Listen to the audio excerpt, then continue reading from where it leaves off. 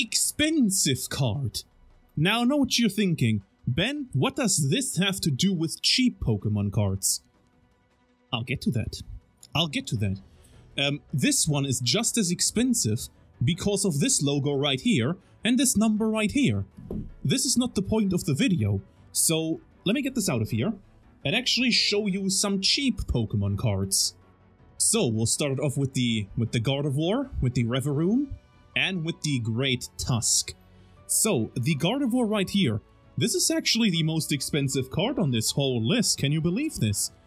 This one right here, according to TCG Player, is sitting at $23. $23 for such a stunning illustration. And man, this is amazing.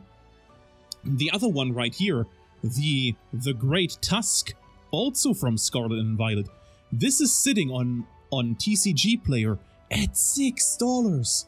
Six dollars for this. Can you believe this? And this is an amazing illustration once again. Holy moly. The most stunning thing about well, this one though, the Revavroom, which I pulled in my Obsidian Flames opening, this one is sitting at $4. It will continue to drop. Just compare that to the Sword and Shield era. Imagine if you didn't have to spend hundreds of, of dollars on an alternate art. Imagine if they were like $4. Really, really amazing stuff from the Scarlet and Violet era and of course Obsidian Flames. If this continues on, we're in for a really good time in terms of collecting. Pikachu and Mew, two cards from Crown Zenith. Not the only ones on this list, mind you, but two of these two are really affordable. The Pikachu is is sitting at just $13 for such an amazing illustration, and if you compare that to the price of the Japanese version, this is an absolute steal.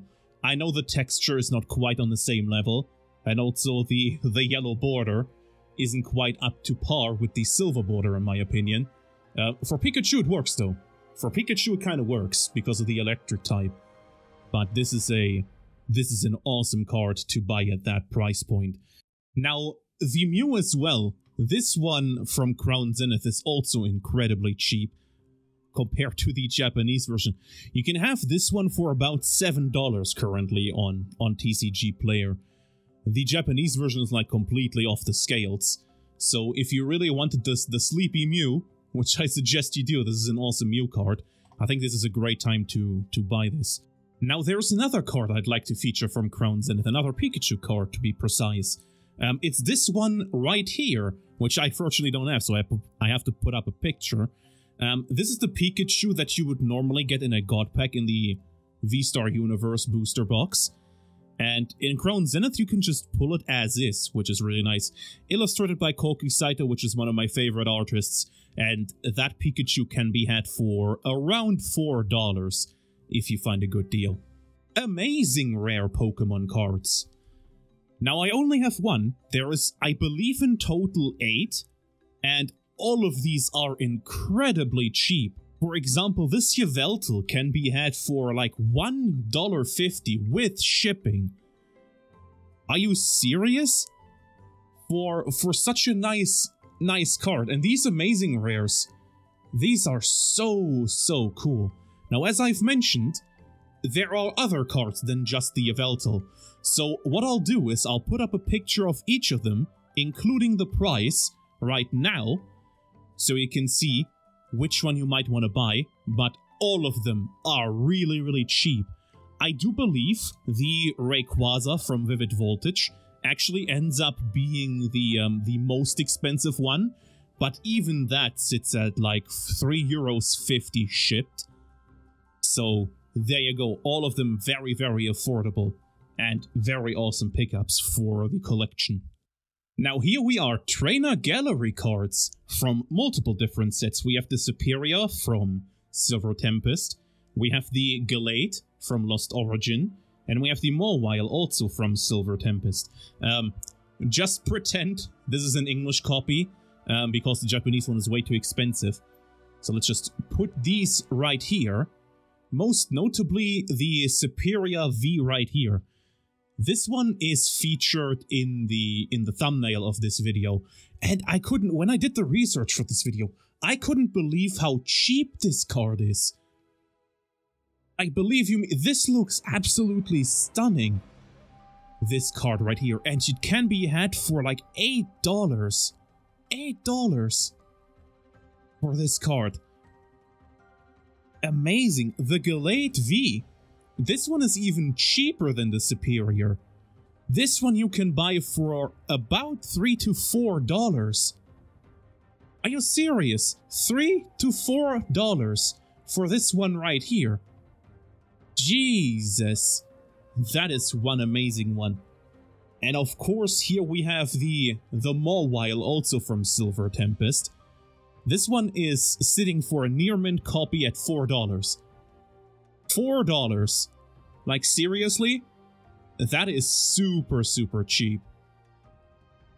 Now the Blaziken V. As I mentioned, just pretend this is an English copy, the Japanese one is way too expensive. So the English copy, also from, from Silver Tempest, um, this one can be had in a near mint copy for about $9. And then there's also the VMAX Blaziken, which I'll put up right here, um, also from Silver Tempest, obviously, and that one can be had for just under $10. Both of them a great pickup for, for the collection. I really, really like these Trainer Gallery cards. Very, very awesome. Now another card I'd like to mention is this Gardevoir right here from VMAX Climax. This one can be had for about $3 on eBay. Now, of course, I had to feature some full art trainers on this list as well. So first up, we have Adaman, we have, of course, friends in Hisui, friends in Sinnoh, and I also have the, the Dendra from Paldea Evolved over here. Now, let's start it off with this Adaman right here. You won't believe how cheap this one actually is. This one can be had for about $4.50 shipped, which is absolutely insane. Um, once again, illustrated by Koki Saito, as I've said earlier, one of my favorite artists, and this is an amazing piece. Now you might notice that the counterpart to Adaman is missing from this list right here, the Irida. Um, I do believe the Irida is still a bit too expensive, same goes for the Cynthia from Crown Zenith. And if the rumors are true, which I highly believe they do, about a reprint of Crown Zenith in October, then those cards might and probably will go down in price. And after that reprint, it might be a good way or a good time to, to pick them up. But not right now, um, because we have other cards to pick up, of course. This Friends in Hisui, which, well, also features Irida, among other characters. This one can be had for about $8.50, including shipping on TCG Player. And then, of course, here is the Friends in Sinnoh, the counterpiece to the Friends in Hisui card. Um, this one is a similar price. This one can be had for $8 shipped on, on TCG Player. And then I thought I'd, I'd throw in the Dendra right here from Paldea Evolved. Um, this one is much more affordable than the special illustration rare counterpart. This one can be had for about $5 shipped for this awesome full art trainer. Now there are two more full art trainers that I'd like to mention for this category. There is of course the Gardenia's Vigor, also from Crown Zenith. That one can be had shipped for about $8. And then there's also the Klara full art from the Klara Premium Tournament Collection. That one can be had for about $8, including shipping. Now, one thing to note about the Klara is that it is still an English exclusive card. This one has not been released in Japan yet, and I think it's kind of funny that we have something first before they do, because usually it's the other way around. Now here is two more cards where you just have to pretend they're in English because the Japanese versions of these cards are way too expensive for what they are. Um, just pretend these are English. Let's start off with the Mew from Lost Origin. This one in English can be had for about $7. Next up is the Rayquaza from Silver Tempest. This one is even cheaper than the Mew. This one can be had for about $5.50, including shipping on, on TCG Player. Um, one notable card is of course the Pikachu VMAX, also from Lost Origin. Um, that one can be had for about $6 shipped. Two more golden cards that I'd like to feature in this video if we go back a bit further to the start of the Sword and Shield era. are the Zacian V and Zamazenta V from their respective Ultra Premium collections. Um, the Zacian V can be had for about $5 shipped, and the, the Zamazenta V is a bit cheaper. That can be had for about $4 shipped. Two more golden cards I'd like to feature this time around from the Sun and Moon era are the Solgaleo GX and the Lunala GX. The Solgaleo GX can be had for about $5 shipped, and the Lunala can be had for also about $5 shipped. Both of those are really amazing. I wish I had them in time, but unfortunately, unfortunately they didn't arrive in time. Now, let's move it on to the last few cards here. Promo cards. We have the Charizard GX, we have of course the Greninja Goldstar, we have the Miraidon and Koraidon. Um, this Charizard isn't a promo, I just thought I'd fit it in here, because it kind of makes sense, Charizard. We'll talk about this a bit later, so let me put this to the side. Um, this one right here, the Charizard GX from the Hidden Fates tin. This one, because it has been printed into Oblivion, is rather cheap. Um, this one is only about $5 shipped on TCG Player. This one, same with the Greninja, like this one, including the, the Celebrations um, ETBs, have been printed into Oblivion. This card is super, super cheap. Like, you can find this card, you don't even have to be lucky, you can find this card below $2, including shipping. And this is an amazing way. This is probably the cheapest way for you to get a Gold Star Pokemon, even though it can't officially be played in tournaments. But hey, you can still play this card in like a, a little fun challenge with your friends.